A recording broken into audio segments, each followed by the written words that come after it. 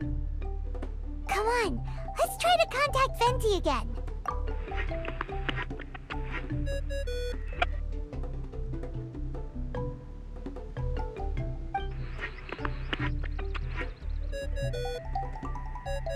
Oh, it's you. Huh? That isn't the tone deaf bard. You're right, we've never met before. I know you want to communicate with someone beyond the islands, but you can't do that right now. So, I cut off your connection. Huh? Wouldn't you rather find out the answer for yourself than ask someone else?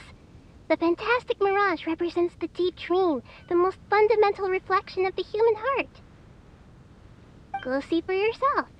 Witness everything with your own eyes. And when this is all over, tell me what you feel about it. Who the heck was that? Oh, this is weird. How was she able to cut off her connection to Venti? And why would she want to know what you feel? nope, Paimon doesn't get it. It's kind of eerie, but... But Paimon will protect you.